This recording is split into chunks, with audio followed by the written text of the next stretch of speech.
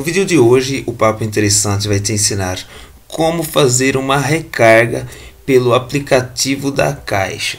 Após entrar no aplicativo Caixa, você vai perceber que aqui não tem as opções para realização de recarga. Então, sendo assim, você vai arrastar a sua tela para cima e logo abaixo você terá a opção de acessar todos os serviços. Você vai clicar nessa opção e após isso você vai vir nesse espaço que você está vendo aqui na lupa e vai digitar recarga. Assim que você começar a digitar recarga, vai aparecer para você a opção recarga de telefone logo abaixo. Você vai clicar em cima dessa opção e logo vai aparecer para você a opção de você colocar os números de telefone.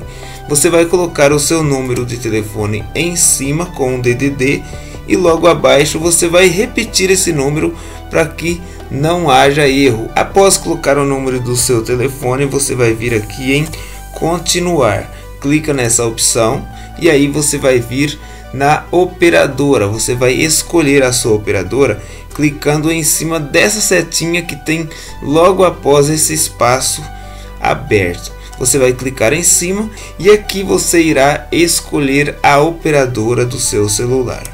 Você vai selecionar a operadora, no meu caso é a Vivo, clico em cima, eu vou clicar em continuar e logo após vai aparecer para mim a opção de valores que eu quero pagar por essa recarga.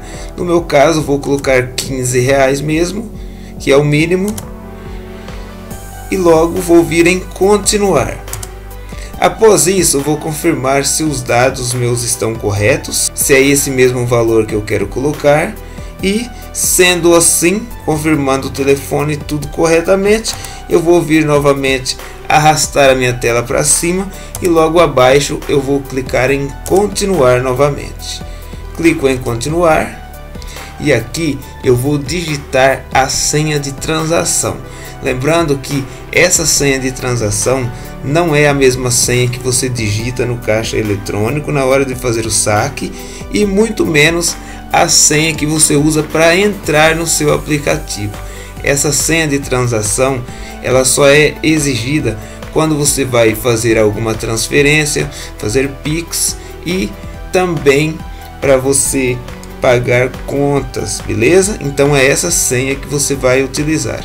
Se você ainda não tem essa senha eletrônica, você precisará ir até um caixa eletrônico e lá você vai selecionar a opção de senha eletrônica e aí você conseguirá fazer essas transações. Após digitar a sua senha eletrônica, você vai vir aqui novamente e em continuar veio em continuar estando tudo corretamente, a senha, os seus dados tudo certinho, você receberá um comprovante de pagamento e aí sim, logo após alguns segundos, estará chegando para você uma mensagem no seu celular de que a sua recarga foi efetuada com sucesso. Beleza, gente? Então esse foi o nosso vídeo de hoje, como fazer recarga pelo aplicativo da Caixa. Eu espero que esse vídeo tenha te ajudado. Se você gostou, curte, compartilha, se inscreva no canal. Se tiver dúvida ou sugestão, comente aqui embaixo e nós iremos te ajudar o mais breve possível, beleza?